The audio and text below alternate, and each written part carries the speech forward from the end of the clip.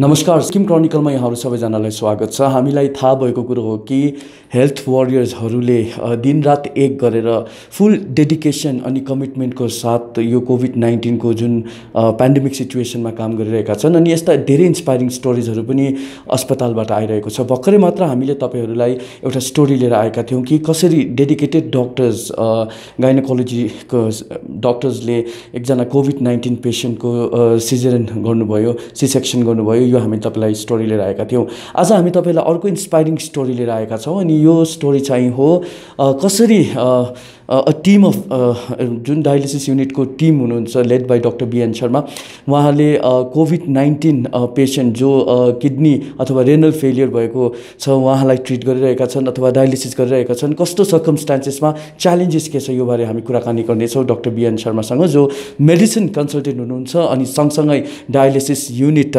सिक्किमको उहाँ इन्चार्ज पनि हुनुहुन्छ।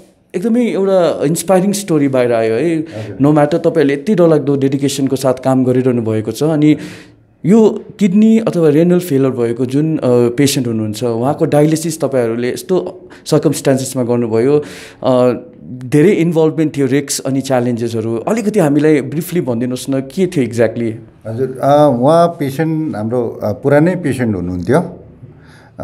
लास्ट तिन महिनादेखि सायद डायलिसिस गर्नुहुँदै थियो हाम्रो युनिटमा तर अभाग्यवंश के भयो भने त्यो दिन जुन चाहिँ दुई तारिकको दिन उहाँ एकदमै अचानक क्रिटिकल कन्डिसनमा इमर्जेन्सीमा आउनुभयो बिहान। त्यो हुँदाखेरि हामीले उहाँलाई तुरन्तै डायलिसिसमा लिनुपर्ने कन्डिसन आयो र हामीले यो जुन चाहिँ कोभिडको रिपोर्ट न आउँदा आउँदै पनि टेस्ट पठाएर हामीले डायलिसिस उहाँको सुरु गरेर उहाँलाई अलिकति स्टेबल गर्नु सक्यौँ। तर अब रिपोर्ट आउँदाखेरि उहाँ पेसेन्टको चाहिँ पोजिटिभ आयो। अब त्यहाँदेखि अर्को हामीलाई च्यालेन्जेस के आयो भने अब जेनरल डायलिसिस युनिटमा उहाँलाई फेरि डायलिसिस हामीले दिनु नसक्ने भयौँ। किनभने त्यो इन्फेक्सन अरू बिमारीलाई सर्ने डर हुँदाखेरि हामीले आफ्नो डायलिसिस युनिटलाई कन्टेन गऱ्यौँ त्यसलाई डिसेनिटाइज गऱ्यौँ र बन्द गऱ्यौँ। चौबिस अडतालिस घन्टाको लागि। र उहाँको उहाँ पेसेन्टको लागि चाहिँ फेरि डायलिसिस दिनु दिनुपर्ने थियो एक दिन दुई दिन पछाडि। त्यसको लागि चाहिँ हामीले सेन्ट्रल आइसियु कोभिड वार्डभित्रै। सेन्ट्रल आइसियुमा चाहिँ डायलिसिस युनिट डायलिसिस मसिन एउटा डेडिकेट गरेर अब त्यसमा थुप्रो च्यालेन्जेसहरू आयो। त्यो गर्दाखेरि अब एउटा त डायलिसिस गर्दाखेरि त्यो आरो पानी चाहिन्छ रिभर्स अस्मोसिसको पानी चाहिन्छ त्यसको लाइन बनाउनु पर्ने थियो। त्योसँगै त्यो पानीको ड्रेन प्रपर ड्रेनिङ ड्रेनेजहरू बनाउनु पर्ने थियो। त्यो सबै कुराहरू हामीले दुई दिनमा चाहिँ अब सबैजना मिलेर इन्जिनियरिङ हाम्रो एसटिएनएम हस्पिटलको engineering cell civil mechanical electrical साथसाथै हाम्रो फोर्थ ग्रेड जुन चाहिँ प्लम्बर भाइहरू हुनुहुन्छ उहाँहरूको ठुलो कपरेसन छ यसमा।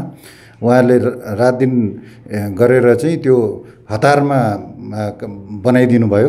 त्यहाँदेखि हामीले एउटा आफ्नो जेनरल डायलिसिस युनिटबाट चाहिँ एउटा डायलिसिस मसिन डेडिकेट गरेर चाहिँ कोभिड आइसियुमा सारेर त्यो पछाडि चाहिँ उहाँ जुन चाहिँ पेसेन्ट हुनुहुन्थ्यो उहाँलाई हामीले सेन्ट्रल आइसियुमा जुन चाहिँ कोभिडको आइसियु छ त्यहाँनिर हामीले डायलिसिस दिनु सक्यौँ। अब अहिले पहिला योसँग उहाँले दुई खेप डायलिसिस पाइसक्नु भयो उहाँ अहिले स्टेबल हुनुहुन्छ खानाहरू राम्रो खाने एज कति होला?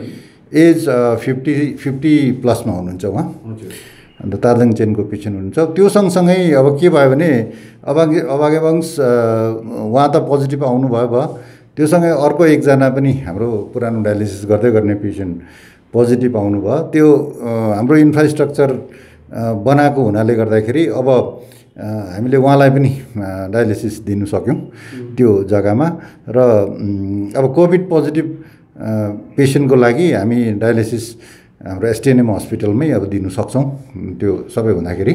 सर हामीले देखिरहेका छौँ कि बाहि राज्यदेखि बाहिरबाट पनि सिक्किमकै मानिसहरू जो बाहिर डायलिसिस गराउनु हुँदै थियो अहिले सिक्किममै फर्केर आउनु भएको छ है? सिक्किममा टोटल कतिवटा डायलिसिस को मसिन छ कतिवटा अपरेसनल छ अनि तपाईँहरूलाई कतिको प्रेसर छ? किनभने धेरै नै मानिसहरू पाइलअप भएको छ भनेर हामीले सुन्यौँ। वेटिङमा छ। हजुर अब हाम्रो स्टेटमा यो किडनी रिलेटेड बिमारी जसलाई डायलिसिस चाहिने बिमारीहरू थुप्रै छन्।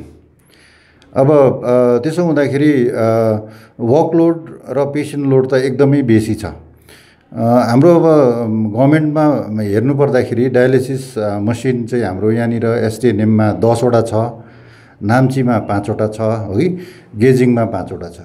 अब अहिले एकदम फुल्ली अपरेसनल चाहिँ हाम्रो के अरे म, गान्तोक र नाम्ची मात्रै हो।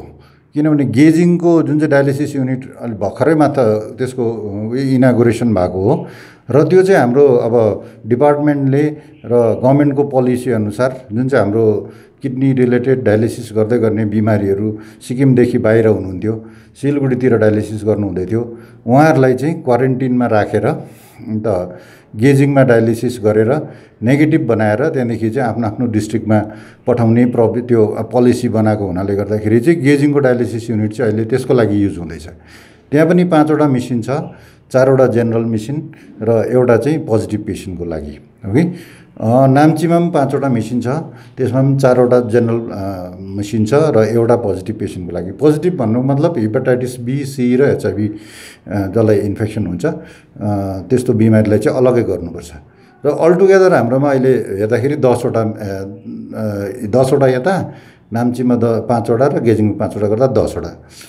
टोटल मिलाउँदा बिसवटा भयो। पेसेन्ट चाहिँ कति वेटिङ छ अब पेसिङ पेसेन्ट हेर्दाखेरि अब यहाँ हाम्रो नियरली दुई सौजनाको जस्तो वेटिङ लिस्टमा छ पेसेन्ट। अब त्यो सँगसँगै के छ भने प्रब्लम चाहिँ अब कोही पेसेन्ट यस्तो आउँछ एमर्जेन्सीमा आउँछ। फर्स्ट टाइम आउँछ रेजिस्टर गरेको हुँदैन। जसलाई डायलिसिस नदिँदाखेरि त्यो बिमारी तलमाथि हुने उयो हुन्छ चान्सेस हुन्छ। र एमर्जेन्सी कन्डिसनमा आएको पेसेन्टलाई हामीले डिनाइ पनि गर्नु सक्दैनौँ है। र उहाँको बिमारीको लाइफ ज्यान बचाउनुपट्टि लाग्दाखेरि अब त्यो पनि थपिन्छ। त्यसले गर्दाखेरि त्यो एड अन हुँदै जान्छ।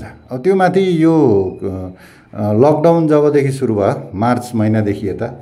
जति पनि इमर्जेन्सी केसेसहरू थियो त्यो हामीले सिक्किमदेखि बाहिर किडनी रिलेटेड इलनेसले बाहिर पठाउनु मिलेन किनभने सबैतिर लकडाउन थियो।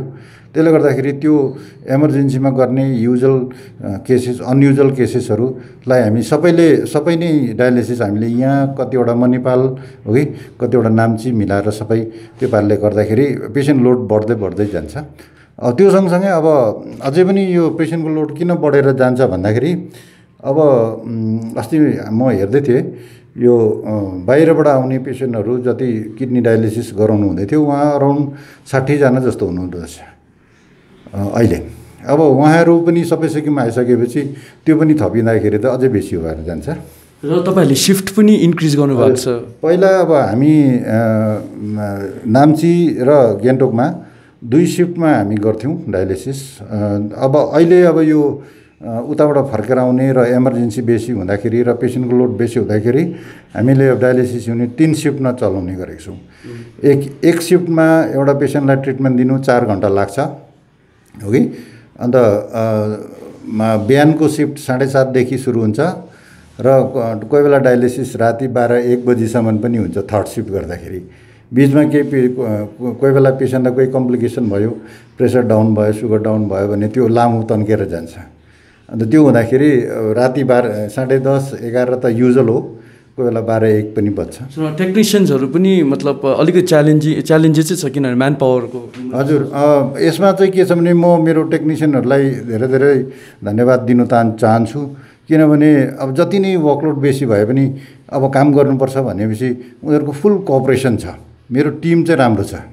किन कहिले पनि म काम गर्दिनँ अब मेरो टाइम सक्यो भन्ने उनीहरूले कहिले पनि आजसम्म मसँग मेरो सामने भनेको छैन। किनभने टिमवर्क राम्रो हुनु भएकोले गर्दाखेरि चाहिँ हामीले यो सबै जुन चाहिँ कोभिड नन कोभिडलाई म्यानेज गर्नु सक्यौँ। अब अहिले यहाँ टेक्निकल टेक्निसियनको नम्बर हेर्नु भन्दाखेरि के छ भने सर्टेज नै छ हो कि? दसवटा मिसिनमा आठजना टेक्निसियन मात्रै छ यहाँनिर। अब त्यसमा अब कोभिडमा जुन चाहिँ एउटा टेक्निसियन डेजिग्नेट गरेको छ उसलाई हामी बाहिर निकाल्नु सक्दैनौँ। जबसम्म कोभिड को त्यो पेसेन्ट जाति हुँदैन। त्यो सँगसँगै उसको रिप्लेसमेन्टमा अर्कोलाई हाल्नु पऱ्यो पछाडि। किनभने एक्सपोजर बेसी हुन्छ लामो टाइमसम्म उसलाई पनि राख्नु सकिँदैन। ऊ पनि क्वारेन्टिनमा बस्नुपर्छ। त्यसले गर्दाखेरि अब डिपार्टमेन्टले मिलाउ अब मिलाउने कोसिस गर्नुहुँदैछ है। कोही अब नाम्ची गेजिङबाट पुल गरेर यहाँ यहाँको क्राइसिस म्यानेजमेन्टको लागि त्यो गर्ने कोसिस गर्नु हुँदैछ अब नियर फ्युचरमा छिटै भइहाल्छ होला। मेरो अन्तिम प्रश्न तपाईँलाई किडनी फेलियर भएको मानिसलाई यदि कोभिड नाइन्टिन भयो भने कतिको रिस्क फ्याक्टर इन्भल्भ हुन्छ? हजुर अब यो तपाईँले तपाईँलाई याद भएकै कुरा हो। कुनै पनि कोमर्बिडिट कन्डिसन भएको मान्छेलाई कोभिड इन्फेक्सन लाग्यो भने त्यो अत्यन्तै रिस्की हुन्छ। अब त्यो हेर्दाखेरि जस्तो अब किडनी ड्यामेज भयो क्यान्सर भयो या जसले त्यो इम्युनो सप्रेसन दबाई खाँदैछ डायबिटिस भयो यो सबै इम्युनो जिउको इम्युनिटी डाउन गर्ने बिमारीहरू हो। त्यो हुँदाखेरि एकदम हाई रिस्कमा आउँछ। किडनी सिकेडी पेसेन्ट या डायलिसिस गर्दै गरेको पेसेन्ट जसलाई चाहिँ कोभिड लाग्यो भने। तर अब अहिलेसम्म अब भगवान्को कृपाले र के अरे सबै म्यानेजमेन्ट राम्रो भएकोले गर्दा र टाइममा म्यानेजमेन्ट दिनु सकेकोले गर्दाखेरि अहिलेसम्म आएका दुईजनै पेसेन्ट स्टेबल नै छु स्टेबल नै छन्। अब लेट्स होप उहाँहरूको टेस्ट हुन्छ अब फेरि। हजुर अब उहाँको टेस्ट हामी अब सात दिन पछाडि गर्छौँ। अहिले सात दिन पुगेको छैन। सात दिन पुगेर नेगेटिभ आउनुभयो भने फेरि उहाँलाई हामी जेनरल डायलिसिस युनिटमै डायलिसिस ट्रिटमेन्ट दिन्छौँ। Thank you so much doctor र हामीले हेऱ्यौँ कि यस्ता धेरै हेल्थ वर्कर्सहरू छन् डक्टर्स नर्सेस स्टाफ्सहरू छन् जसले साँच्ची नै डेडिकेसन अनि कमिटमेन्टको साथ आफ्नो सर्भिस दिइरहेको छ यो सिचुएसनमा र उहाँहरू सबैलाई हामी धेरै धेरै अप्रिसिएट गर्न चाहन्छौँ। र उहाँहरूलाई तपाईँले एन्करेज गर्न चाहनुहुन्छ भने तपाईँले मुनि कमेन्ट बक्समा आफ्नो कमेन्ट पनि तपाईँले दिन सक्नुहुनेछ। मेरो सहयोगी आशिष गुरुङको साथ निर्मल मगर सिक्किम क्रोनिकलको लागि।